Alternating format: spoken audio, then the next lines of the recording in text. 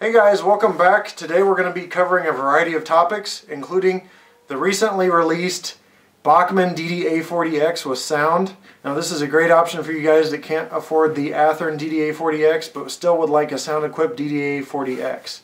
We'll also be talking about some viewer email, like why don't I do weathering or why haven't I gotten into weathering yet, and also things like uh, the recent news from Union Pacific that they're going to be taking possibly taking 4014 from Pomona, California, a big boy steam locomotive, and making it part of the Heritage Fleet and part of the steam program.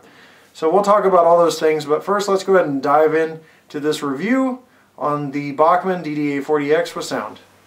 Alright, so I just cut open the box and you're literally going to be doing the unboxing here with me.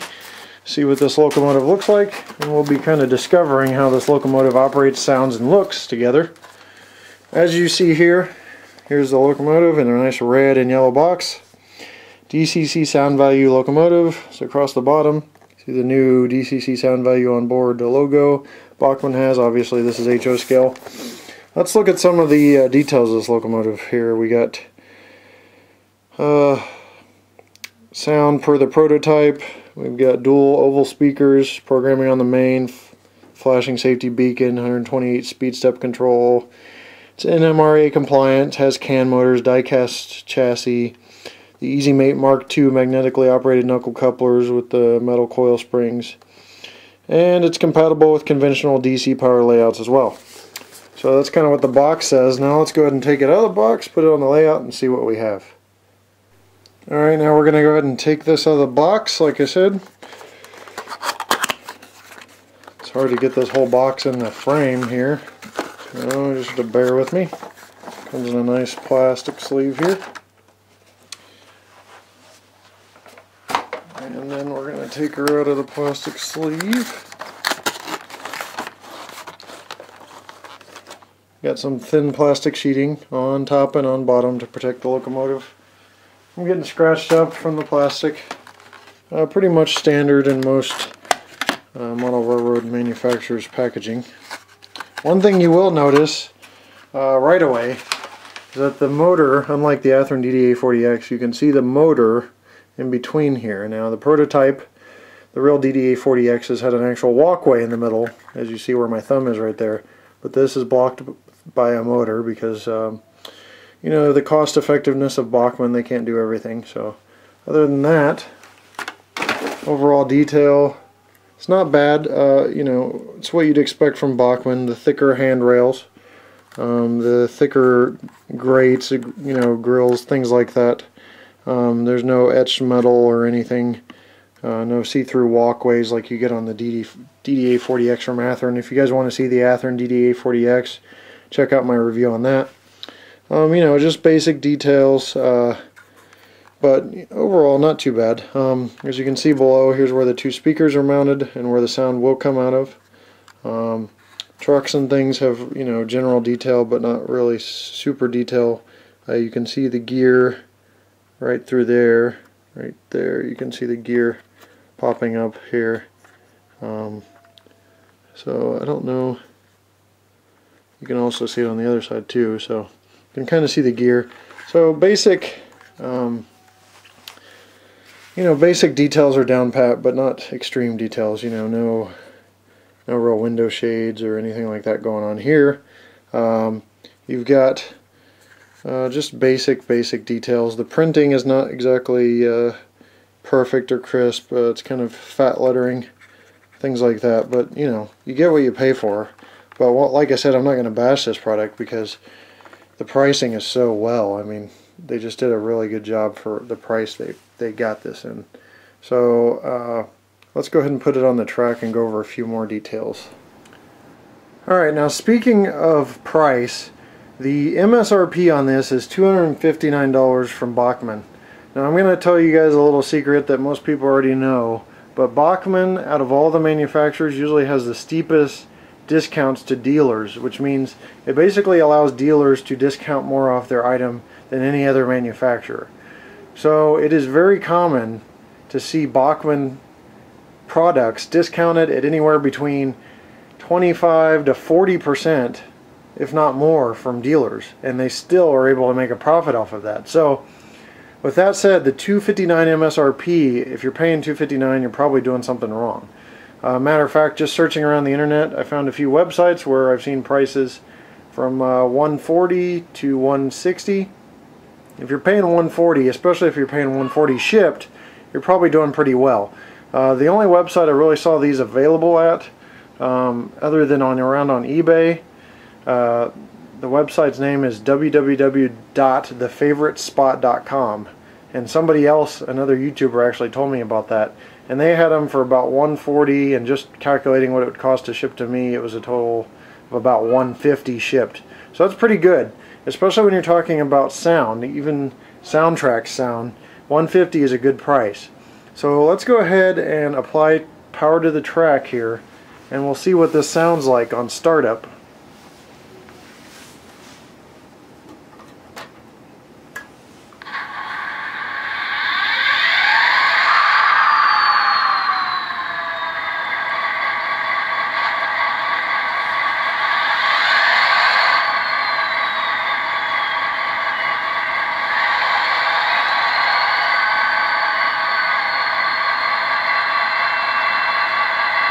So what you have is the startup and it does seem to have a different sound as each different motor starts up, which is cool. There is one decoder in here versus two, like on the Athearn, uh, but there are two speakers. So now we're going to go ahead with the uh, DCC address of 003, which is what everything is default, usually from all manufacturers, and listen to the bell and the sound.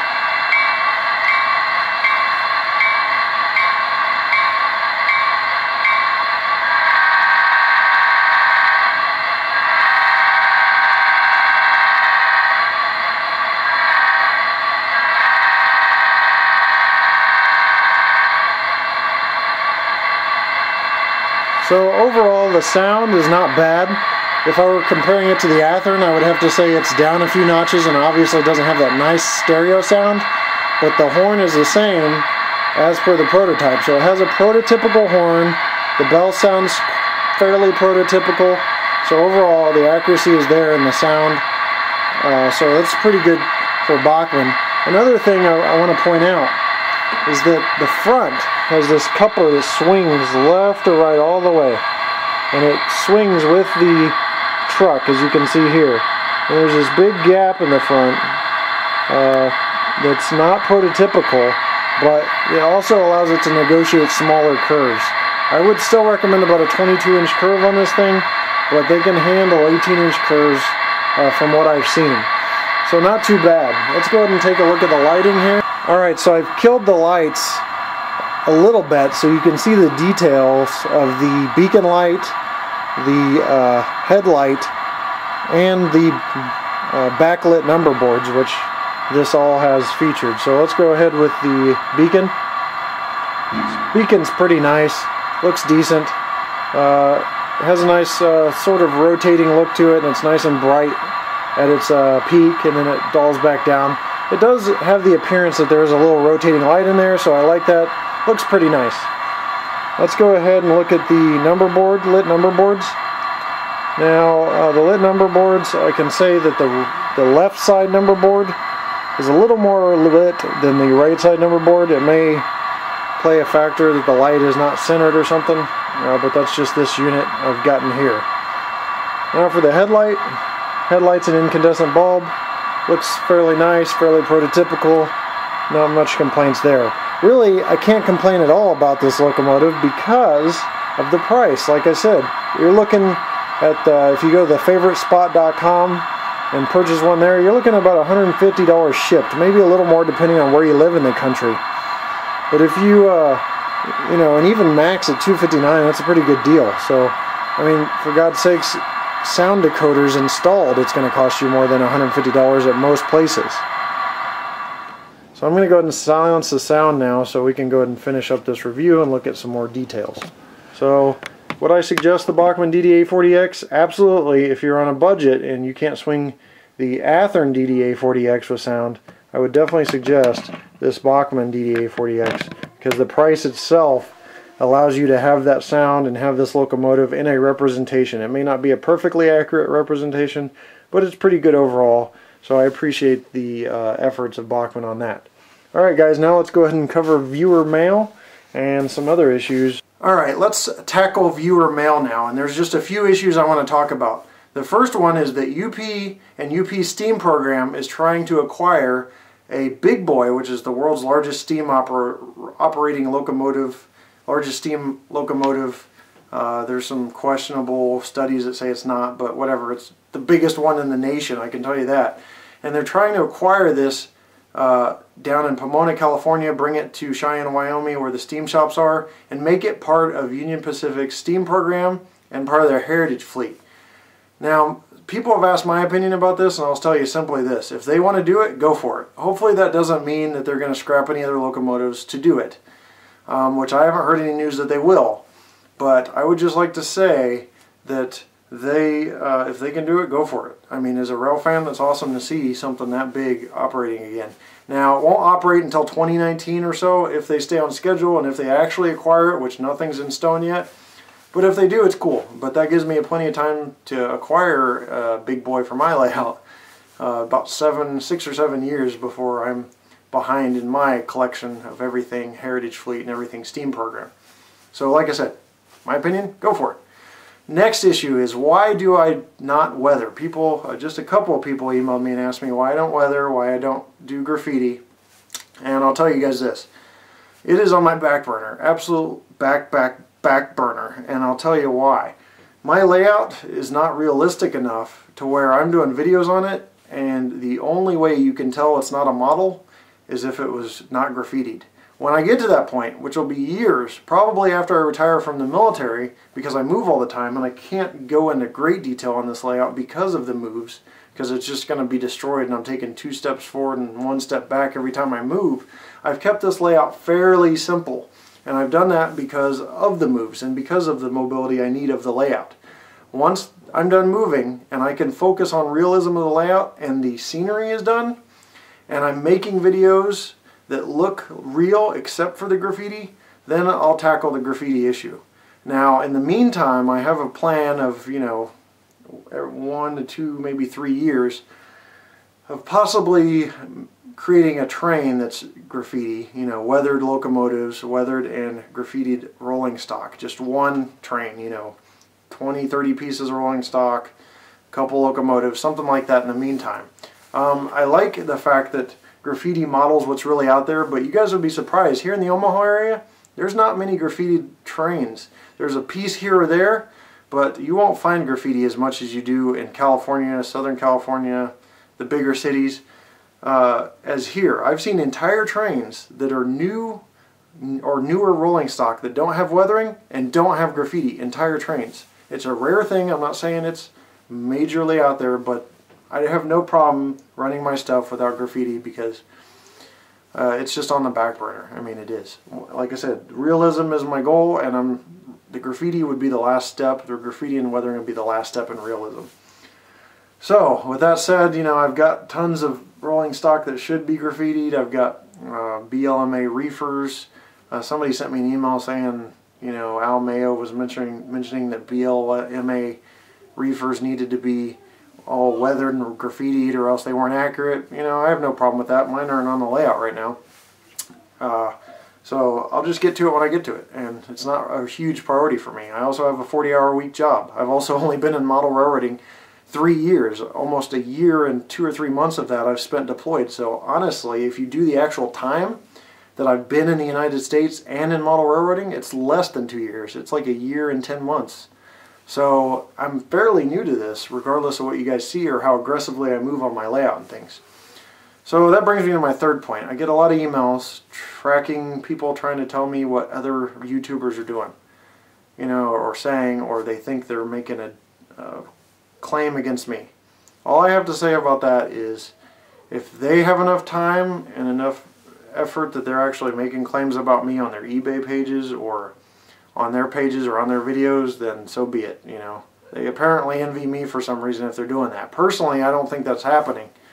But if it is for some reason, you know, if they're trying to make these little digs that everybody's messaging me and telling me about, then uh, that just makes me more confident in what I'm doing because obviously they're they're envying me for some reason because there's absolutely no reason to hate what I do or what I'm doing because I'm not aggressive type person. I haven't went out there, you know, making complaints about people or or arguing about people or dissing people on their videos. So I'm a fairly passive figure. I'm you know I'm not an aggressive kind of guy as far as going to bother people. I get into conversations a lot and arguments a lot on forums sometimes, but I'm not the kind of guy that goes to hurt people's feelings and things. So if somebody's got a problem with me about that, then then so be it. It just makes me more confident in what I'm doing. And that brings me to my last point. The UP, UP Big Boy News was on a Facebook page called 3985 slash 844 info. That's what it is. And it's a Facebook page, and there's some comments I made asking who the owner of the site was because there's complaints.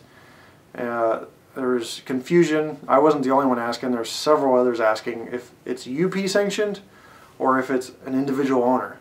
This Facebook page, and it was just a question. I wasn't stirring any crap about it, but this Facebook page uh, got some other people that really got aggressive about it, and you know they came out and said they were part of UP or the STEAM program. Well, I just talked to Mark Davis, the UP spokesperson, which uh, I talked to to get information. I've talked to him about my Cheyenne trip. You know, he gives me information, helps me out. Uh, he told me they are not part of UP, or he's not aware they're part of UP. So I was just clearing that up. If anybody wanted to know, the 3985 slash 844 info page is not part of UP. It's not a huge deal. They provide great information, but people ask the question, and I'm I'm there to provide the answer for them if I can find it. And that page is really muddy in the water on whether they are or they aren't. And that just indicates to me more that they aren't. But hearing it from the horse's mouth, from a UP Union Pacific spokesperson, saying that they're not, that clarifies that up. So for you guys that were wanting to know that, that follow me on my Facebook page, uh, that's the answer. Well guys, that about wraps it up here. Wraps up the uh, review of the DDA 40X from Bachmann. I strongly suggest that if you can't afford the Athearn, this is a great option for you. We'll see you guys next time right here on my channel. Thanks.